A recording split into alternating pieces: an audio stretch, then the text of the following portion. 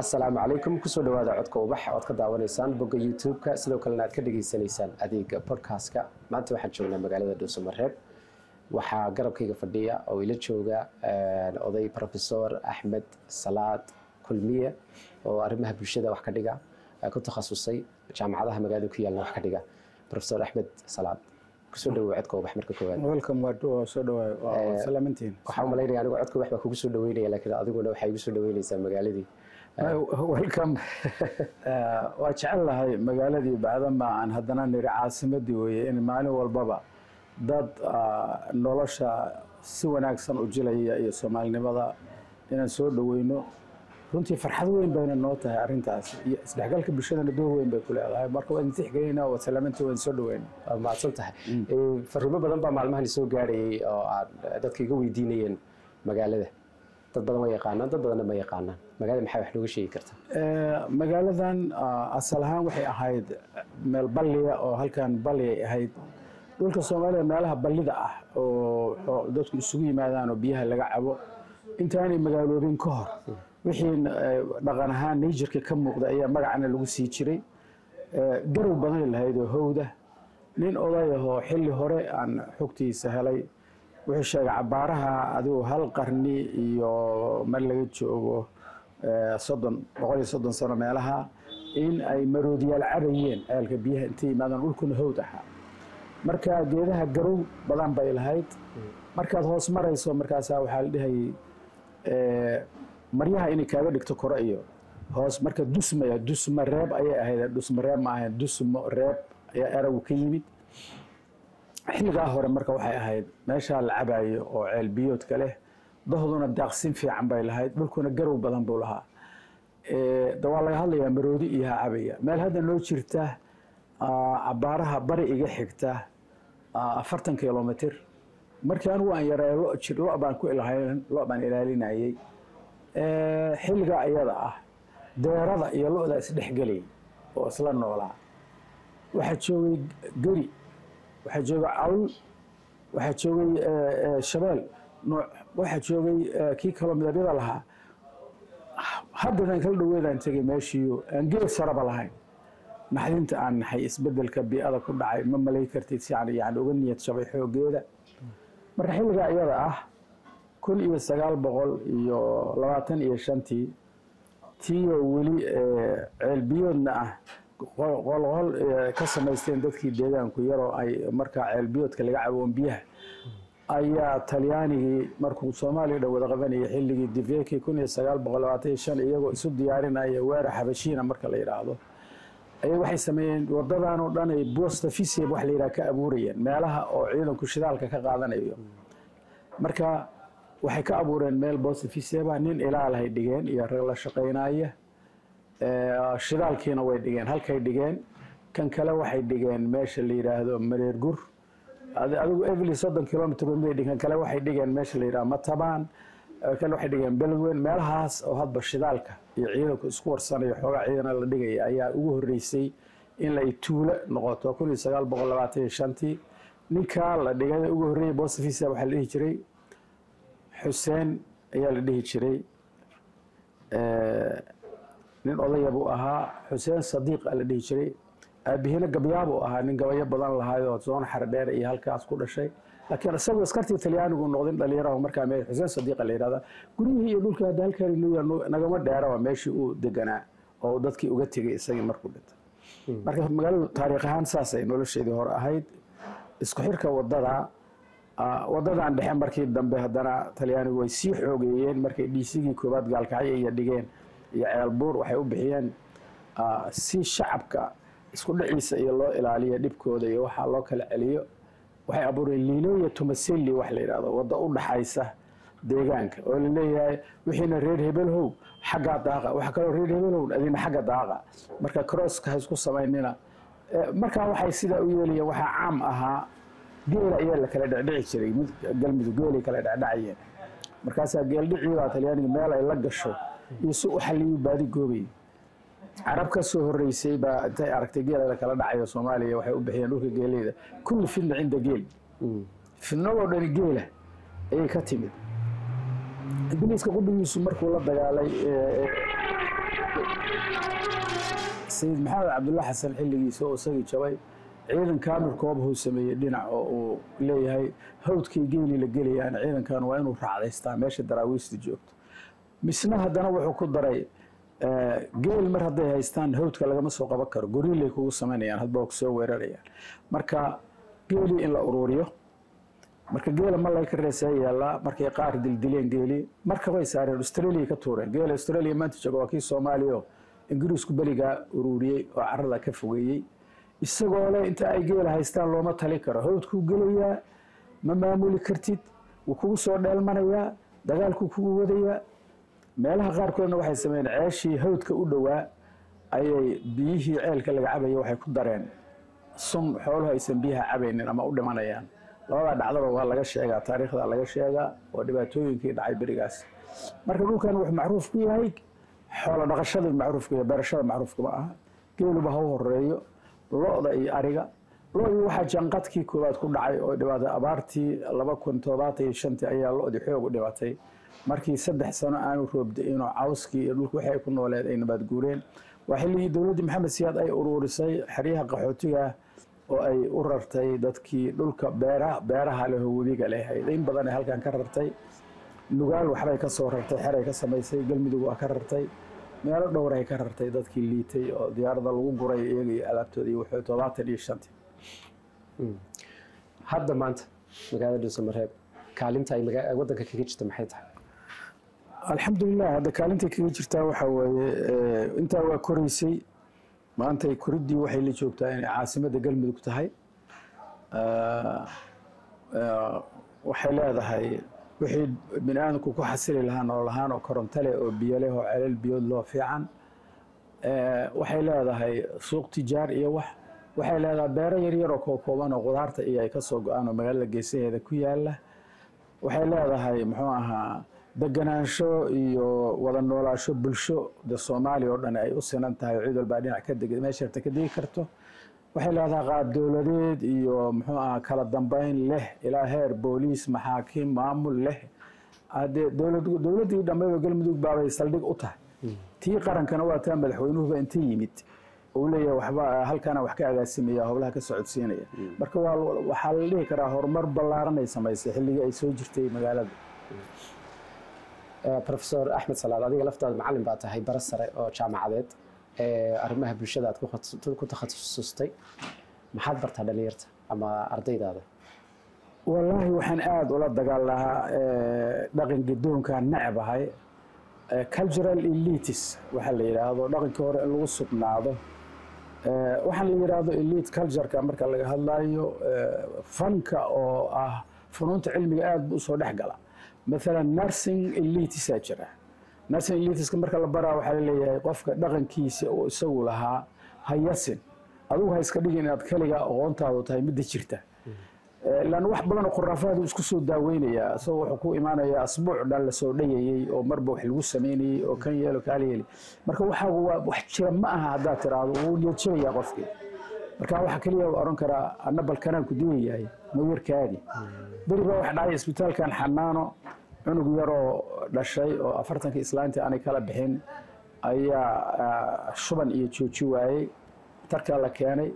Marka waxaa la yidhi caanaad siiseen oo caano ari iyo waxaa ka daaya ma qaadan karta calooshiisa. Hooyadiina way caano yarta. Ayeeyaa wado waxay leedahay caanahan weligeen sii jiray waana ficnaan jiray waxaad sheegaysaan waa maxay. Dhakhtarkii dhakhtaradii gabadhi ahayd iyo iyagu is haystaan meeshii ugu imid. Waxaan gartay cultural differencega jiraahe inuu ka socdo dhanka caafimaadka qofka jilaya oo aan si xasiloon oo dabacsan iyarkaadi baa iyadii. Waxaan ku leeyahay waxa weeye adiga iyayaa tahay aqoonaad leedahay wax badanaad soo barbaarisay waa sax inaad caana sii jirteen iyo wax. Laakiin cunugaas caanaha hooyada aad siinayseen hooyadii markay dhasho miyiga joogay nafaqada hooyada wax dhashaa ka fiicnayd nafaqada hooyadan. Mayla ogosha inta waa kula ogolahay haa hadeer waatan gabadhan waa tacbaan afartankeeda ka bacda waxna ma marka caanaheeda ayaa nafaqadii la rabay lahayn hooyada. Cunuga calooshiisuna caanaha ariga nafaqadiisu xooga badan ma qaadan karo. Caano loogu talagalay baan halkan ku haynaa oo la yidhaahdo seventy five. Caanahaasaa la walaaqa laba asbuuc keliya aan teena ku baroobay ku aragne bal intaa noo ogolow aan isla fiirino. Haddii cunugu markaa intaa ku soo roonaado nala qaado bil baa lagu werayaa keliya iyo laba eh. Haddii uu baan kula qaadanayna wax isbedela baasaa ay tiraahad bay tiri maantida hore maasaa la iigu sheego marka culturalka arrimaha ah meel kastood ka aado qofka culturekiisa inaad yasta maaha waa inaad ogolaataa inuu ku tiirsan yahay waxyaalaha ceebtaah uu leeyahay wixii aad ka garatayna. Tartiib tartiib inaad uga fufujisaa ay aadan ku duulin. Haddaad ku duusho adag muujisaa isagoo iska kaa difaacaya. Waa naga tawilaya waxdima halkan waxaa noogu yimaada ilmo dhallinyaraa oo oo soo xiirtay oo madaxa kor uud xiirtay oo ayaan dhexin la keenay ciidan la dhihi jiray muxuu ahaa magac lahaa oo sannadkii hore meelahaas ahayd. Waa waa la yaab magaaladay ku soo yaacayaan gabdhiyo. Jaamacaddan balasmo inama dhiganayo gabdhaa iyo wixii baan. Dhowr ta ururiya la hadlo wiilashan madaxa xiirtay maxaa u taqaaneen? Abdiiq aa la yidhahdaa madaxa si diiqiibu ka dhigtay. Oo maxaa diiq u leedihiin de waa waa nala foolxun yahay yay tahay inay adbiyaano dhaqankeenna uusan burburino oo madaxa sidii hore dhalinyarada xaraga lahayd u habaysto. Yaad u hooyadii aabe hooyo aabe wuu ka koray.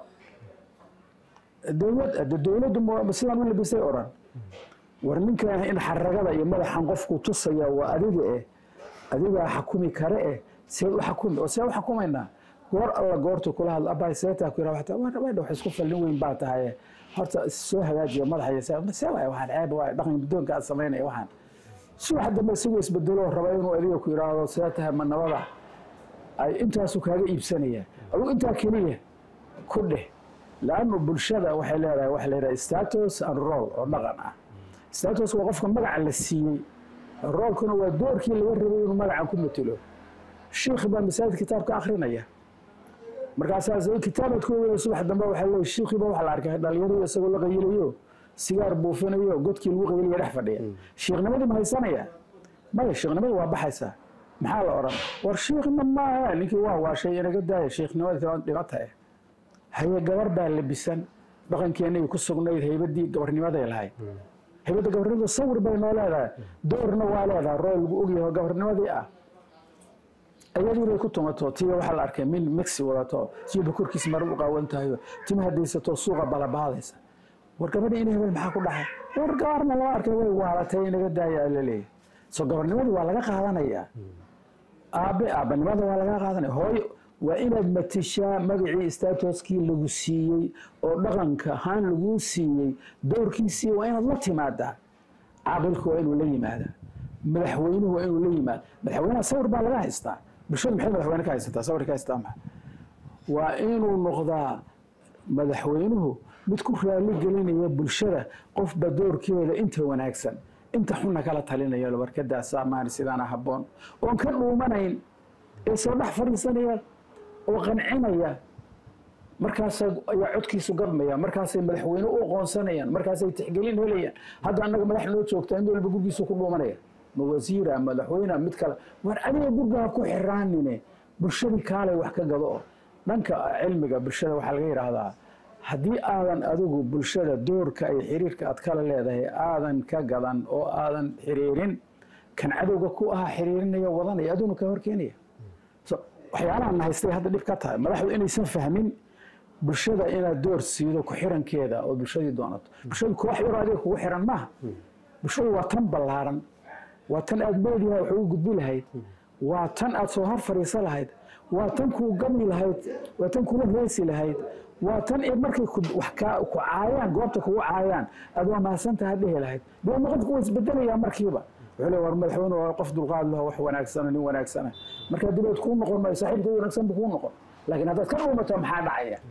Dhinacii kale waxay u sheegaan buu qaadanaya. Oo leeyahay madaxweynaha lama arkay madaxna lama arkay odalka qabiilkaa sidoo kale door baa laga rabaa doorkiisa waa inu qaata madaxda hore way ilaalin jireen doorka xiriirka bulshada kala dhexeeya oo uu ku matilayo waa ilaalin jireen dhaqan ahaanay u ilaalin jireen. Wayna waxyaalaha aan ku soo moodnayna way ahayd oo khilaafka yareynayey oo shidada bulshada naga yareynayay. Marka waan kula gudbay mawduucda weydiisa waad saxan tahay. Soo socday. Waxaa ka hadashay dhaqanka doonka ee bulshada ku socda soomaalida. Sidoo kale waxaad ka hadashay doorka ay cid waliba leedahay qof kasta bulshada ku leeyahay. Dhanka madax dhaqameedka isbedelkaasi ma dhacay. Waa dhacay aada buu u dhacay. Dhibaato weyn buuna hadda nagu hayaa. Weliba dadka ugu daran waa xoolo dhaqatada. Beeraaleyda shidadeedu awalba in contactigu waa yarayd laakiin dadka dhaqanka dhowrista iyo birmageydada iyo dhaqamadaa laga rabay iyo odaga odaga kaabqabiilka ahay wuxuu ugu macnaysnaa bulshadeena yahayna abukaate afhayeenba u yahay mar qaadibuu yahay. Mar caqli wax kuxfuruu yahay. Mar wuxuu yahay barbaariye boqol nooco isku jirtaa ninkaanu matilayay marka hadda shidada noogu darana waxa weeye raggii xogogaalka ahaa ee konton sano joogay oo dhaqankii hore soo dhaxlay oo odaga ahaa wuu dhintay. Ragga cusubina isagoo labaatan jir ahaa isbedelkan uu dhacayo kuma barbaarin dhaqankii la rabay iyo suluugiisi wuxuu moodaa wax walba inuu iska dardari karo dhibka marka jiraa waxa weeye waagii hore odaga markuu dhinto kaabaqabiilka wanaagsan dhaxal reeb waxa ahaa wiilkiisa. Wiilkaa la siinayay laakiin maxaa la oranayay? Waxaa la oranayay wiilasha uu dhalay midka ku soo baxaal kale in oga qaada ku soo baxaal mataqaan qofka shidada iyo dhibaatada aan fiirsane u dhalashahaan u dhashay inuu wixii dhibahu arko yidhahdo war waxay waxa aan xallin.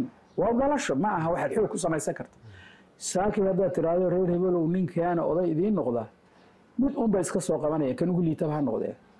Markaas maxaa dhacaya? War kan qofkan wixii loogu talagalay maaha waxan ye wixii loogu talagalay meeye misagan cidda ka dhalan baa lagu leeyahy war cidda ilaahay midba waxbuu u dhaliyey ammaanduuliyaa jiray. Ammaanduuliya muxuu ah waagi hore inta colka la dhuro baa waxaa lii jira colka yaa kaxaynaya markaasaa leeyahy hebel so hebelku horudhac buu leeyahay. Military strategy laga hadlaya hebelna hebelna waa buu leeyahay. Soo horudhacna waa laga ilaalinaya colka. Dib waa laga ilaalinaya maskaxdiisu intaa kaa mid hebel ma jooga saaleema hebel xagee jira tu meel hebla farsa lagu doonay hebel baa la doonay fars baa lagu doonaya si colka u oo maxay laga bartay dabcigan iyo dareenkan u dhalashadaah uu leeyahay military istaraatiiji ahaan markii loo bartay kadib loo xosha sidaasuu ahaa fagaara ka hadalka odaga kaabaqabiilka waa loo xolanayay war in halbeeg leh oo xujo abuur lama yahay. Laannu marka goobta fagaaraha laga wada hadlayo odaga la hadlayo wuxuu ahaa odagu hee nin halbeegiisaan laga daba imaan. Kiyo waxaa la yidhaahdaa af soomaaliga ninkaa af badani dhaxal aabahana ugu seejiya abukaatahaan bacdamaa odaga loogu loo xulanayey fagaaraha marka laga hadlayo wuxuu ka dhigayaa waxaan caqligaa u keenay. Qisa cajiib laha jirtay nin la dhihi iyo dhoobo ayaa ma ku bixiyey ari markii koobaad lix boqol oo sana hadda laga joogaa xilliga. Ah zoonaha ay ka dhacday waa meesha la yidhahdo garoowe balli ka sokeeyo la yidhahdo mag arile balligii ilaa hadda mag arilaa la yidhaahdaa arigiiba lagu magac daray.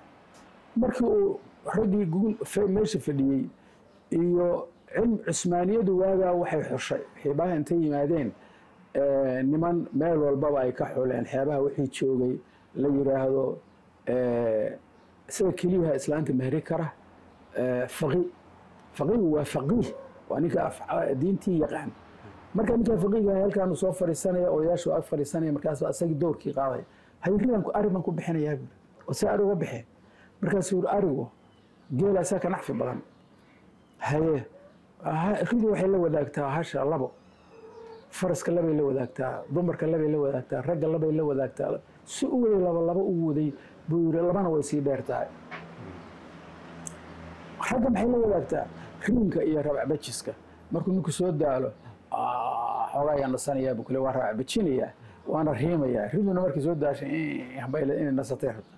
Faraska maxay la wadaagtaa? Qoobka iyo qanaaniga maanta nooqaamina naagaha dumarka maxay la wadaagtaa? Labaca iyo laabnuweelka ay leedahay. Labacna way leedahay markay dhalayso islaamaha iyo riyuhuba labac bay leeyihiin labac waa xadiga naasaha iyo caanaha soo gelaya iyo muuqaalkaasa abuurmaya. Tahay oo laba sano markay jirto ridu laba jir ayay caana kaaga seexinaya laba laamood dhexdoodana way iska sadaysaa. Meel dheer iyo hayaani shida ku geli mayso. Sidii baa lagu qaato ri laga siiye laba sano dabadeeda iyagii nin laga dilay. Kuwii waxay dhahan riyihii aan kugu siinayna shal aan kugu siina ma shaqaynaysa biro isla isagii oo maxayna u shaqaynaysa shal nagu sii de shal adaa ku qaatay miyaan kugu qasba waad kugu qanciyo waan iga qaadatay hadda ani igu qanci rise shahal uga fiican tahay. Difaac baa leeyahay. Adugu adigii shalay ribaa fiican ribaa fiican. Wuxuu way fiican tahay ribiye laakiin saddex ciladood ay leedahay oo geelu dheer yahay. Haye maxay tahay? Roob ka raagay ma sugan karto. Mid ku roorayna iskama xaji karto. Mid ka mid ka mid ka roorayna ma racdaysan karto. Maya mid ku riimay iskama xaji karto. Mid ka roorayna ma racdaysan karto. Ya mid ka raadana ma sugan karto. Sababa waa dabacsanta soo cillad fiican buu saaray marka. Sidaasay uga liidataa buu leeyahay arigii waa waa kana xoog leh oo jiritaankiisu asal yahay. Marka qis qisuu u keenay rasmi ah afhayeennimadu marka odagu markuu xujo abuurka yahay waa saa oday kale waxaa dhacday dhaqankeenna zoonaha galkacyana ka dhacday. Dhaqanka adduunka dhan sodohdu waa taabuu lama taabto. Sodoh cid walba dhaqan ahaan waa far lama saari karo. Marka sodohuhu waa- iyana waa inay dhowrtaa qoyskii wiilkii gabadha ka qabay reerkiisan dhex gelin oo sodohda iyana ay xishootaa marmar hadday xadgudub ka samaynayso sodohdaa markaa malaha waxay ogaatay dhaqan ahaan inay ka faa'iidaysan karto cabsidaa bulshadu ay tixgelinayso kulligeed gurigii iyo wiilkii bay ka dhex bixi weyday shido markii dambe wiilkii inta carado sodohda dharbaxda kaga soo qaatay reerkeedii baa soo qaatay sodoh baa taabatay. Wiilasheedii iyo wixii dhama reerkii kalena waa soo dagaal. Odayaashii baa ku soo baxay.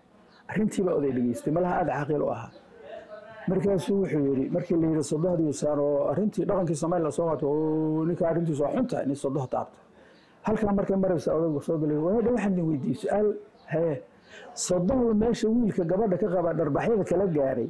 Marka hore iyada maxaa geeyay halkaa so sodohda ay gar daran tahay buu iftiininaya oo reerkii laga dhex saari waaye halkaa qisa cusubaa soo baxday oo la leeyahay sodohda marmar bay gardaran gardaraa kartaa. Warka oday ee hadduu yahay oday de waa dhaqanka soomaaliga wuxuu ku ahaa door lagama daba tegi karo oo bulshada ku hawadinaya dhaqankuna wuxuu lahaa dhaqan jira oo culus oo adadag annaga hadda dhaqan gadoonka nagu socdahay waa xoog badan yahay. Miyiga reeraha miyiga waxay samaynayeen sanadka guga marka la gaaro ayaa waxaa la isugu imaanayay albari xaaje gudna waa la isugu imaanayay iyo xaaje gal. Qofkii qof wuxuu sheegtay intaan guga la gaarin warmaandhow noo kaada odayaashu le guga ha la gaaro. Gugiya cid walbaa meesha imaan. Kii dacwo qabay kii wax waday kii meel kale wax ka sheegayay meeshaa wada imaanaya dhalinyaradii halkaasay tegayaanoo waa cayaarayaan isdhexgal bulshaa dhacaya markaasaa hal abuurka iyo kaftanka iyo gabaga iyo cayaarta qofba wuxuu ku fiican yahaa la baranaya isdhexgalkaa laga baranaya odayaasha xaggay ku shirayaan ayana caqiltamayaan oo waxay jahaynayaan wixii waxay isu haystay inay kala fujiyaan. Wixii ayaga baahaan qaan laga rabay inay qorsheeyaan siday u bixi lahaayeen. Waxay cid bidsanayeen inay erga u dirtaan. Dowladnimo nidaam ah oo buuxa. Xagga culimmadiiya qur'aan ku sidoo kale fadhiya. Dadkii dhammaa way isqaateen bulsho isku xiran oo isqaadata oo wixii shiddo lagu hayana wada difaaci karta. Wixii shiddo laga tirsanaya isxakamay karta. Dhaqan uu isku xiran leh sugaanteedii icraabteedii iyo barashadeedii leh. Dhalinyarada imika yaa wax hadda miyay soo adeeg? Miyigiina albari ma leh magaaladii haye maxaa la tigtogaa wax hadda maxaad samaynay oo kugu la tartamaya maanta oo dhan. Marka meeshii gabaga iyo suugaantu noo shaqaynayeen oo ay ahayd xaraf raaca la raacayahay oo gabaga iyo suugaanta lagu dhahayahay inuu asluub dhaqan leeyahay. Asluubtaasina ay salka ku hayso dhaqanka islaamka. Hadda wixii la rabaa la sheegaya. Marka isdhexgalkii labada jiil haddii xaaladdu sidaas tahay maxaa diiday isdhexgalkii labada jiil? Ee jiilka soo koraya ama hadda la wareegaya doorkaas in ay jiilkii hore tababaraan? Maxaa isdhexgalkaas diiday? Waxaa diidaya dhowr sababood. Sababta koowaad waxa weeye dalankaca miyiga laga dalankacayo oo diiraaddii ay xumaatay oo isbeddelka bii'ada waxa la yidhaha ay dhaliyeen oon reerihiiba allabari isugu imaanayn iyo iswaraysi iyo xog midna. Reeruhu waxay isu yimaadaan oo keliya markii shiddo loo sheego. Marka hore ku soo baxaalka markay isu yimaadaan xataa dhibaatooyinka iyaga dadkooda liita eeg waxaa jiray dhowr qaaraanaa jiray. Nin baa guursanaya waxaa la dhihi jiray ninka guursaday hala siiyo wixii la dhihi jiray kaalo. Xoolaha qoys qoys lagu ururiyo dhag reerkii qoysaa agoonha ilmihii ka hadlaynaya kaalaa loo ururinaya waa la kaalmaynaya wixii noocaasa xataa waa ilka beeleen. Laannu iswaraysi iyo isku xiraashihii baa hoos u dhacay oo baaba'ay. Doorkaasi marka muxuu la tegey? Reer miyigii marka magaalooyinkii soo galeen. Dhalinyaradii hadda soddon jirka jiraa maanta magaalada soo galay. Xataa shaqadii hooseo magaalada wax ka qabsan kuma kartid labaatan jirka jooga. War wax laga dhisaya kaala wax ka dhis dhulka geeleyda waa ka hadlaya kan beeraleyda waa gaar. War halkaana wax la dhisaya ka shaqee. Ma garanay war xaggaana wax laga qabanaya kaala waxaan qabo. Ma garanayo. Magaalada hadda aan joogno xoolaha waxaa ka raaca. Oo ilaaliya gobollada kale dadka yimid oo xoola raacashadu ay mihnad ahaan tixgelinaya bashaar laba boqol u qaadanaya cuntadiisa oo daala markaasuu geeli wax ka ilaalinaya. Ninka halkaa laba boqol geela ku lehi afar qofaa u shaqaynaysa marka ugu yaryahay. Caanihii iyo wixii iyo noloshii iyo raaciddii wixii dhamma kee kale halkaas suuqaadu taagay kaal geel warmaal geelka u raacayo kulehi war haddaadan geel raacin seed u noolaanay adug ooda guri dhisayn oo waxba qabanayn baadiyihiina ka soo ururta. Sidaasi lamida ayaa dhaqankiina wuxuu noqday dhaqan burbur kale oo ah. Dhalinyaradu jiilka ka horreeya midba fiiriya. So jiilka ugu yimid meeshaan muxuu samaynaa teleefonu wataa tiktok u fiirsanaa iyo balaa ejin kawna waa la fiirsanaya war balitus wax.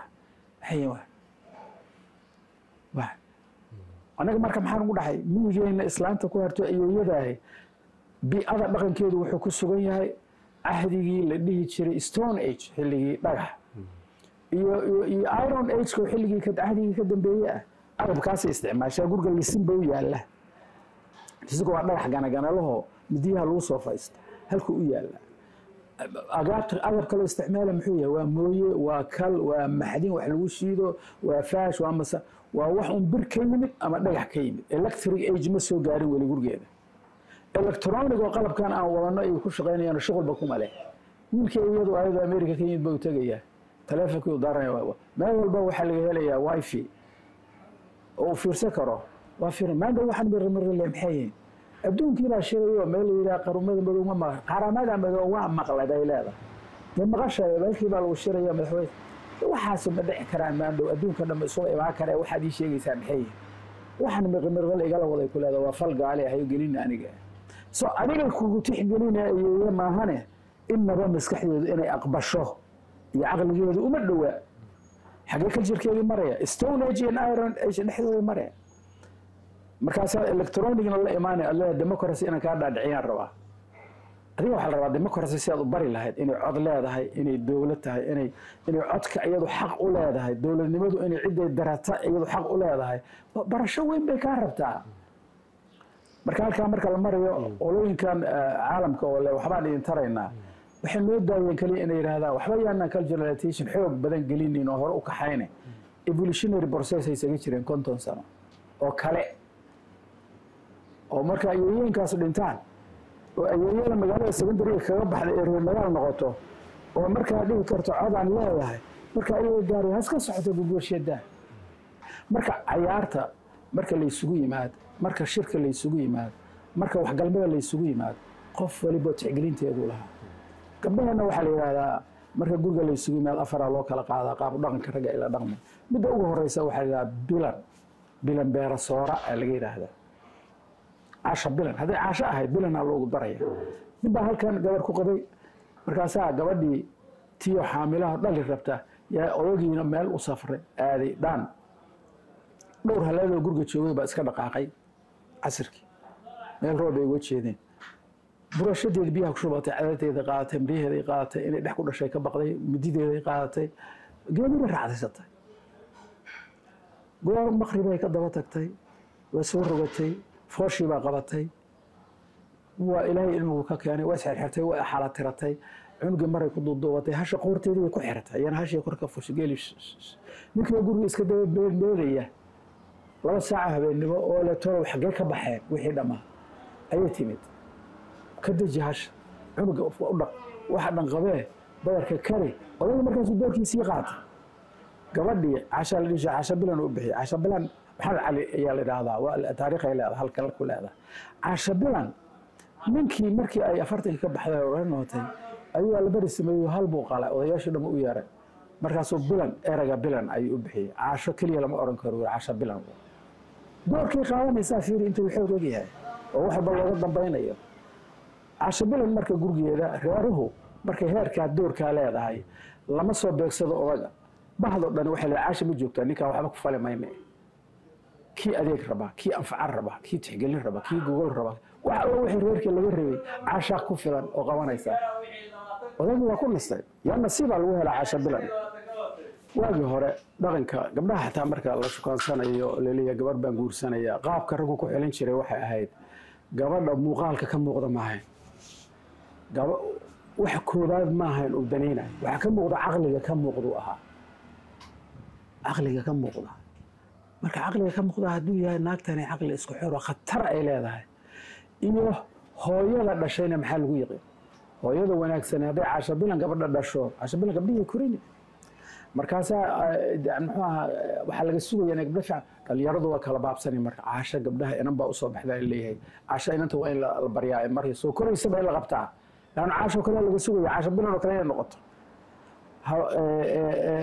islaamuhu khataray ku ahaayeen dhaqanka iyo suugaanta iyo waxgudbinta waa lagu tixgelinaya hadda doorka ay leeyihiin kuma dhaliila zamankan hadda aan joogno zaman aakhirkaana waxaad moodaa caalamkuba culturkii reer galbeedku inuu saameyn meel walba yeelayo. Rag waa u dabacsan yahay. Gabadhi hadda xaafiiska soo gasho wax ka rabto in walba hayo iska dhahaya. Maxaa keenaa waa xilliga aan joogno aboojka aan joogno. Waagi hore nolosha maxay ka soo bilaabatay familiyacal iyagaa ragga hogaaminaya bilowgii nolosha bii'ada bini aadanka markii stone age la gaaray oo xoog loo baahdo ragga godadkii qodeen oo guryadaarihii ka hoos dhiseen buurihii ayaa raggu waxay la wareegeen haybadii maamulka reerka. Marka batriyacal ayaa la yidhaahdaa xilligaa wixii ka dambeey ragga hogaaminayay hadda ma ogi meelna loo wado ma iyagii baa haddana la rabaa in la yidhaahdo iyagu soo hormareen. Marka annaga xilligaa laleeyaha materiyaalkal xilligeeda waxaa historiga laga sheegaa soomaaliya caraweelo waxaa la leeyahay islaan boqorad ahayd meesha joogto magaciisiyo raweelo waxay ku toosan tahay xilligii yeman ay balqiis haysatay oo kale ay boqoradda ka ahayd. Annaga waana soo gaaray dhaqankaas ahaay qorax caabudka shamsiyiinta. Annaga halkan marka hadda marmar sannadkii halkan waa laga cayaaraa ilaa koonfur. Waxaa la yidhaahdaa istunka dab iyo dabshidka halkan waagan yarayn dabbaa la shidi jiray markaasaa sanad marka laga leeyay kabood sannadkii markaasaa lagu tirinaya dabshidka marka kabood aa lagu tirinaya le kow waa waa waa jiraa marka xilligaa shamsiyiinta waxaa santar u ahaa diintaas ay qoraxda caabudayaan. Iiraan aa santar u ahay marka xiriirku ilaa halkan khaliijka waa isku xireyd la soo la soo gaartay. Marka mooyi hadda ka dambaynta dumarka sida ay saluugeedu yahay laakiin annaga dhaqankeena aan ku tiirsanno islaamka xuduudihiisu dumarka waana dhowraa waana lagu tixgeliyaa. Howlba qofbana hawshu ku fiican leeyahay buu aadaa. Annaga haddeer ku tiirsanaanta reerka marka laga hadla war qoyskuyuu ku tiirsan yahay la yidhaha soomaaliya. Boqolkiiba siddeetan hooyadu ku tiirsan yahay weliba dhulka geeleyda iyo dhulka dagaalada ku bateen hooyadu ku tiirsan yahay soomaaliya oo dhan. Iyadaa ilmihii la falgelaysa iyadaa kan qabanaysa iyadaa wax soo saarkiina xoog kule u gudubtay. Marka meel dhow nagama taalo dumarku nagama yaallo haddaanan ka badbadinayn oonaan lahayn wax walba ha laga caraweelay dumarku ma yasan waxaan ka soo sheekeynay isbeddelka ku dhacay ama ku socda dhaqanka. Waxaan ka soo sheekeynay jiilasha kala duwan iyo sida aanay xiriirkooda u wanaagsanayn sidii laisugu gudbin lahaa aqoontii hore. Xalku muxuu yahay haddaba is leedahay? Anigu waxaan u arkaa laba laba meelood in tilaabo laga qaado dhaqanka lagu duminayo qiyamka bini aadanka oo bini aadamku wuxuu ka nool yahay laba qaybood. Physiologicalka bodyga ah iyo emotionalka dareenka ah oo qofka ku dhex jiro wax lagu kala saaro ego centerka ama ego center eegada ah. Eegada waxay xiriirisaa waxa la yidhaha super ego. Super ego waxaa ku duuban diintii dhaqankii wixii. Marka ego markay wax doonto tira it ah marka hore si physica physiologiga waxaa yidhahdaa it waa maxaan cunaa? Waxaan rabaa si waxaan waxaa isi waxaana rabaa. Id markaa eego ay weydiin oo maskaxdii le war saan wax yeelnaa saan u helnaa waxa la cunaya wax. Markaasaa id waxay qasbala gal makhaayadaan iska cun waxa yaalla eego super eega la weydiinaa super eega waxay leeyahay makhaayada ninka iskale waxaa la yidhaahdaa burle haddaad cunto tira waa iska carara waa ku dila. Marka lama cuni karo lama samay karo waxaa gabadhaana rabila gabadha lama taaban karo. Dhaqanka ayaan ogolayn haddaad meel ka taabato aysan raalli ka ahayn oydo walaalkeeda ku dila. Waxaa marka subar eegada. Haddii uu lumo oo qofka laga saaro emotionka iyo dareenka iyo diinta iyo akhlaaqda iyo dhaqanka ku duuban in la isticbaadsado si la raba laga yeela waa fududaane. Kaalinta dameerkoo kale u gelaya dameer xagga u dhe rar waxaa rabta saar laanna maskaxdu waxay qiimeynaysa ku dhegan tahay oo lama yeeli karo maka meesha kuma jiraan marka annaga waxaan u baahan nahay jiilkeenna koraaya inaan barno wax dhaqanka lagu qiimeynayo oo culus in la waardiyo isan burburin dhaqankeena ka burburin kaldhigood waxaa lii sheegaya xamar meelo kuwa gurya ka furtay islaamo oo western culturekii iyo wixii ay arkeen ee la xiriiray raaxaysiga iyo waxa qaabdarro samaynaya booliisku waa ku farxay in booliisku ay ka xireen wax.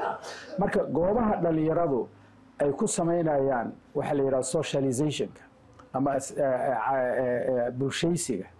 In laga ilaaliyo in dhaqanka reer galbeedkuna saameeyo in muxuu ahaa uu nagu yeesho door qofka la dugaageeyo wuxuu rabo sameeyo.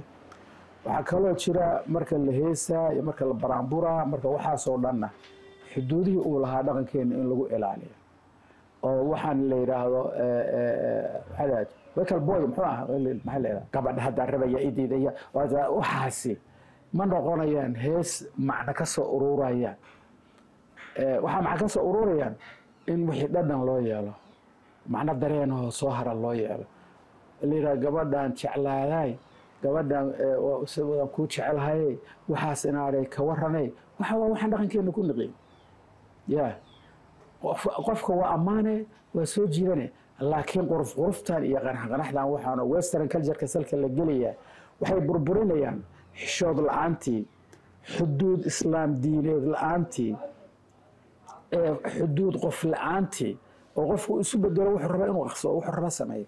Kaa in la waardieyuu rabaa. Ku kaloo labaad dhaqankii miyiga ee reeruhu shirayeen ee dhaqanka lagu baryeelayey ee reeruhu ay inta ducaystaan wax isla qowrsanayeen iyo kaa isagana in la tixgeliyo. Oo la yidhaha war soo celiyo isku xirkii nooleeya aada dad ahaan u wada nooleydeen halbeeguu lahaa waxtar u leh bulshada. Waxaa kaloo muhiima ayana. Dhaqanka awel odaga waxaa la dhihi jiray ha laga qaato reer hebel odagi ma dhinta haa wiilashiisi ma koreen maya. Reer hebel marka yaan ka qaadana ku soo baxaal leh marka odag haddii aan la hurayn ninka ku soo baxaal kale reerka laga qaadanayo hadda waa lagu kala duwan yahay caabud waa qadadan halkan aan xusi karno ogaaskii master holder nin oo america ka yimida ogaaskii loo qaatay laakiin halkan wax ku bartay markiisii hore. So ogaasku wuxuu jiri karaa oo xoogaal marka u yahay dhaqankeenii jiray oo dad ahaaneed iyo soomaaliya iyo waxa ka jira ummad ahaan iyo caalamka iyo waxa ka jira saddexdiiba waa koobaya qofkan marka waxaad haysataa qof aad ku kalsoon tahay inuu door qaato wax ku oola. Waxaa marka la rabaa si tartiib tartiiba dadka dhaqanka jilaya in loo soo guuriyo inay noqdaan dad aqoon leh. Oo aqoontii dhaqankeenana leh oo jili kara. Aqoontii jirtay ee bini aadankana leh. Mid diineed leh mid dadnimo leh mid xiriirka adduunka wax ka socda leh adduunka waa isdhex galay. Arrintaa waxaan u qasbaya waxa la yidhaha globalizationkiya wuxuu noqday. Broblемka ka jira china iyo afar labaatan sac guriga wiilkiisa ku imaanaya. Kan america ka jira halka kuu imaanaya. Saaka dad soomaaliya halkan ka tegey yaa washington bashii la dhihi jiray chicago oo climatekeena equatorku maro oo dhir fiican leh saaka dad soomaaliyeed inta tegey geel ku dhaqanaya. Oo hubiyey geel caanihiisii inuu qaali yahay oo halkii liitar america lagaa siisanayo toban iyo shan daalar labaatan daalar marka maxaana geel ugu dhaqanayn america america geel dhaqasho ma taqaan. Laakiin aniga american ma noqday. Ha war geela iisoo urur. Markaa dadku waaba ku soo yacayn waxa war qofkan wax fiican u keena u abuuray. Adduunkiis dhexgalkiisii heerkaasuu maraya. Kaa soomaaliga wiilku dhala inta kuu yimaada yuu dhaqankii maraykan xisaabsanaa halkan kula imaanaya. Tani way roon tahay jiilka hadda soo socda the coming ten years later waxaa imaanaya tobanka sano ka bacdi. Kuwa indha yaryar oo jeeno lagu dhalay oo islaan jeeneesa laga dhalay mid malaysia laga dhalay mid hindiya lagu dhalay mid lagu dhalay muxuu ahaa america iyo mid yurub lagu dhalay oo kulligood wada soomaaliyoodan diidi karin oo abraac ah ayaa ku imaanaya. Dhaqanku halkaa ku barbaaruuna wataa. Adiga marka dhaqankaaga maxaa ku dhacay? Confusiona ku dhacay. Dhaqankaaga garownkii la rabay inuu aas-aas lahaado baa yaraanaya. Waxaa ku dhacaya milan tiro badan oo boqolaal gacmood ah. Marka haddaadan xagsanayn oodan haddana sii xajin. Intii aad gacanta ku haysay dhaqan burbur waxaa kugu dhacaya marka dambe aad noqoto maandow maandow ma taqaan? Kan xaggaana mar u socda kan xaggaana u socda kan xaggaana u socda. Sidaas marka qowmiyadaadii dhaawac baa ku dhacaya dadnimadaadiina burburaa ku dhacaya. Marka arrintu waxay ku fiican tahay si maandowga aan uga baxsano dhaqanka in la cusleeyo. Muxuu kaloo noo dhaqankeennu? Wuxuu lahaa abab dhowris oo deris la dhowro oo maganta la dhowro oo kelita la dhowro magaaladan hadda aan joogno halka hal waxyaalaha aan ku ammaano kula kulmay anigoo ka maqnaa konton sano markaan soo laabtay oo hadda hooyadooda tiri ila joog iga tegi maysan ku bahayay meesha waxaan ku arkay wax la yaab leh. Waayo waa waxa ilaahay uu naxariisanayo roobka ku siinayo. Magaaladaa meel u dhow ama u jirta soddon kilomitr haddii oon magaalo ka xigin gaari ku jabo oo dad sida masaafira islaamaha u horreeya kulli waa la gurmanayaa waa lootadaa waa la soo caawinayaa webyaha la keenayaa waa la daaweynayaa waa la badbaadinayaa. Qof walba meeshuu u safrayay ilaa looga diro isagoo maqsuuda gacantaa lagu qabanaya waa dhaqan aada u wanaagsan oo la heli karo on ku ammaano. Shirarkoodana waan ka sheegaa haddaan meel gooba kula kulmo iraa waa dhaqankan haddayninay haaye dhaqan wanaagsan weeye. Soomaalidu horey u lahayd marka dhaqankan maaha mid hadda ay beegsanayaan maaha. Reer miyigeenna qof go-doona wax ma yeelaan kan ugu liita. Ya albaa inta la soo raacdiyo amaan duulihi dhamma ceel ku dhacay meel hadda naga dheerayn. Nin la yaqaano dagaal ku jira weligii ahaa colkana watay markaasaa ceelkii markii lima bihlaa nima nima hoos geeru isku dheji markuu arkay codka kor jooga inuu raggii kala yahay. Xarig baa loo diray war hebeln ahaawe wallaahi waa nafar ku saarayn xarga soo raac. Hebelkii ka baqayo inuu noqdo amaan duuliyaha banaankaa la keen waa la yaqaan halkaa macruuf ay ka taha gobolkan banaanka markii la keeno biyo la kaxeeyo oo la habeeyo faras lagu soo qaado ciddii loo diray markii dambe. Dagaalkii labada ridood ka dhexeeyo halkaas ugu dhammaaday waa tanaasul fiican oo waxgala waaye maxay laakiin salka ku haysaa? Qofka liito cuquunka ah inaad ka aargoosato soomaalideena dhaqan u male. Maxaa taale magantaa dishaay ma haddaad wax iska dhicinaysood wax tahay. Goobta raggu ku xisaabtama imow.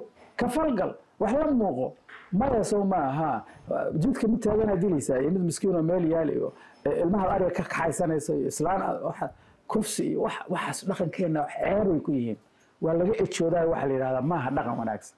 Marka dowrkay ku faanayeen kaasuu ahaaye kaasi isbeddel inaanu ku dhicin inaan waardiyeyna macno noole. Macnuu noole ballaaran.